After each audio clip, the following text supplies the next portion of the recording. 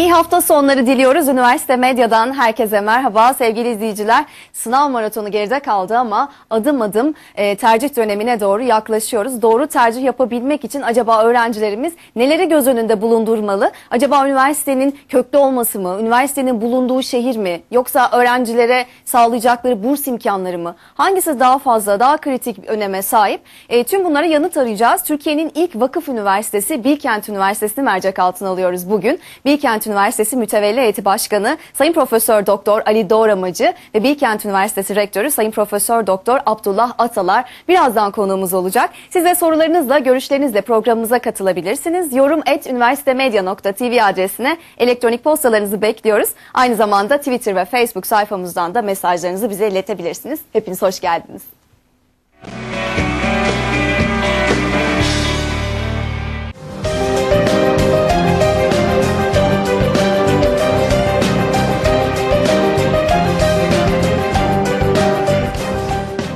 Bilkent Üniversitesi deyince ilk olarak aklına neler geliyor? Ankara'da pek çok üniversitede arkadaşım var, farklı üniversitelerde okuyan.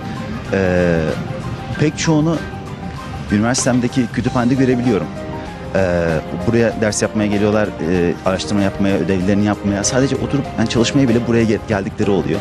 Çünkü Bilkent Üniversitesi kütüphanesi halka açık bir kütüphane. Bölümün bana verdiği e, diğer okullardan farklı olarak ekstra eğitimler var. Örnek vermek gerekirse son sınıfta Dışişleri Bakanlığı sınavına hazırlık kursu açılıyor ve dolayısıyla kendi sektörüme direkt olarak okul beni hazırlıyor. öğrencilik hayatımda en çok farkına vardığım şey diğer insanlardan, diğer öğrencilerden biraz farklı olduğum. Hem ayaklarımın yere basışıyla, hem aldığım eğitimin kalitesiyle ve geleceğe birazcık daha umutla ve e, güvenle bakabilmemle diğer üniversite öğrencilerinden birazcık daha kendimi ayrıcalıklı görüyorum.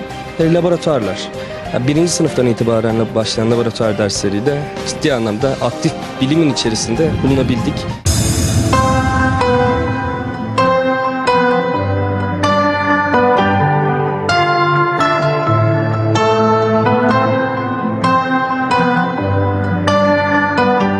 Olmak senin hayatına neler kattı, neler değiştirdi? farklı bakış açıları geliştirebiliyorlar. Daha toleranslı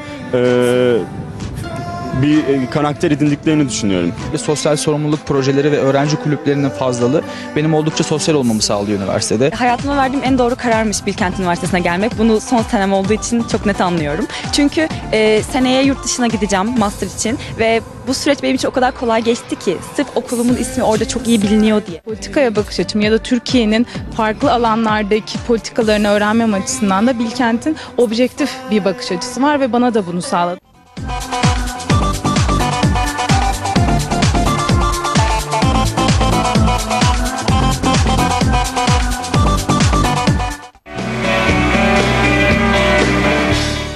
Profesör Doktor Ali Doğramacı ve Profesör Doktor Abdullah Atalar hoş geldiniz. Hoş bulduk. Öğrencilerin enerjisi ne kadar güzel. Üniversite gibisi yok değil mi hocam? Siz de o yüzden mi hep böyle genç kalıyorsunuz öğrencilerle iç içe, hiç üniversiteden kopmadan? Ee, üniversitede yaşlanmak zor. Ee, bedenen gidiyoruz ama düşünce e, devamlı 24 saat. Evet program öncesinde de sevgili izleyiciler onu söyledik. Ee, Sayın Ali Doğramacı'ya dedik ki yani ilk gün başlamış gibi sanki üniversite yeni kurulmuş da böyle o heyecanla anlatıyor. Çok güzel bir şey hocam. Keşke hepimiz böyle mesleğimizde uzun yıllar boyunca bu heyecanı hiç kaybetmesek. En önemlisi o galiba değil mi? E, sizin heyecanınıza bakın. Mesela e, sizin bu programınızın başarısı Avrupa'da teşkil edilmiş.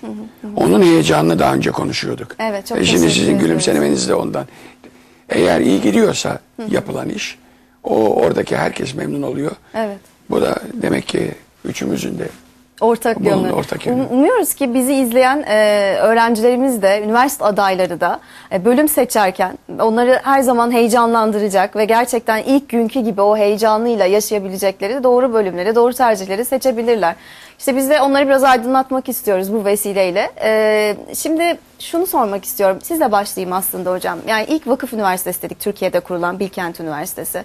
İlk olmanın avantajını muhakkak ki yaşıyorsunuz ama şimdi gelinen noktada vakıf üniversitesi sayısı da bir hayli çok. Ee, o zamandan böyle bu kadar sayının bu kadar yüksek olacağını tahmin ediyor muydunuz? Gidişatı nasıl görüyorsunuz? Hani çok hızlı mı yoksa zaten olması gerektiği gibi mi gidiyor? Nasıl değerlendiriyorsunuz? E, Türkiye esasında dünyayı şaşırtan bir ilerleme sürecinde.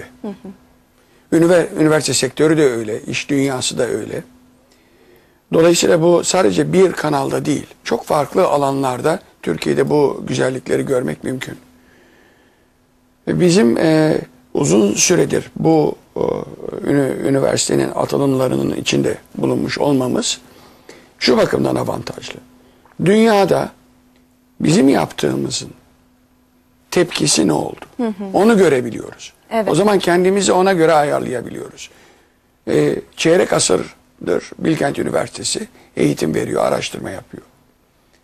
O zaman Avrupa'da, Amerika'da, Japonya'da ne diyorlar?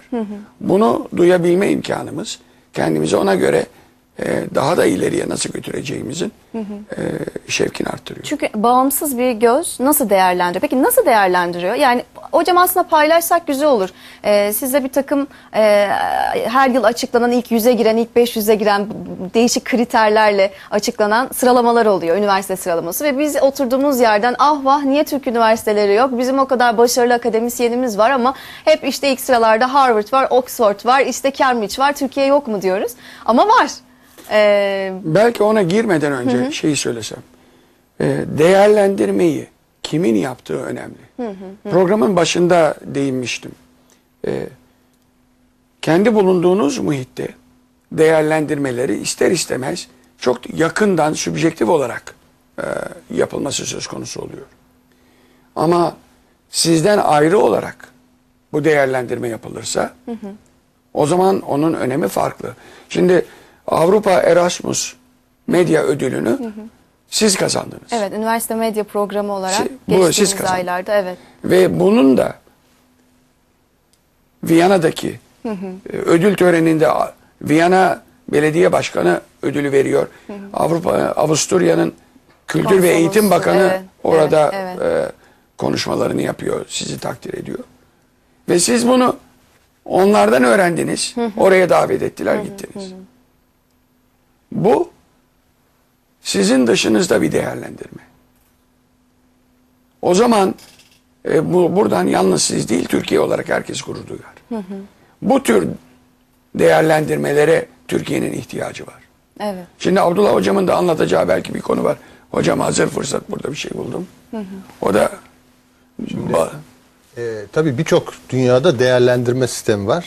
Bunlardan en önemlilerinden bir tanesi de İngiltere'deki Times gazetesinin yaptığı Times Higher Education Supplement'in çıkardığı e, ve elimde 16 e, Eylül 2010 tarihli en son değerlendirmesi var. Burada e, dünyadaki üniversiteleri sıralamaya sokmuşlar E, ve ilk 200 üniversiteyi burada listeliyorlar. Amerika Birleşik Devletleri'nden 72 tane üniversite bu listeye girmiş ilk 200 arasına. En başına da Harvard Üniversitesi'ni koymuşlar. İngiltere'den 29 üniversite girmiş. Bunların da en üstte Oxford ve Cambridge üniversiteleri eşit puan alarak girmişler. A- ardından e, işte Almanya, Hollanda gibi üniversite, e, ülkeler var. E, bu, bu listede Türkiye'de var ve Türkiye'den bu ilk e, 200 e, listesine iki üniversitemiz girmiş ve bunların başında da Bilkent Üniversitesi var. Bilkent Üniversitesi ilk 200 listesinde e, 112. sırada. E, Diğer üniversitemizde e, diğer üniversitemizde e, Üniversitesi, 183. 183. e, sırada. 183. sırada Orta Doğu Teknik Üniversitesi. Bu buraya tabii iki üniversitemizin girmesi e, Türkiye adına çok büyük başarı. E, umuyorum ileride daha da çok üniversite buraya girecektir. Çünkü üniversitelerimiz arasında hakikaten e, son yıllarda başlayan bir rekabet var. Bu rekabet sonucunda da her üniversite daha iyi eğitim vermek, daha iyi araştırma yapmak için gayret gösteriyor.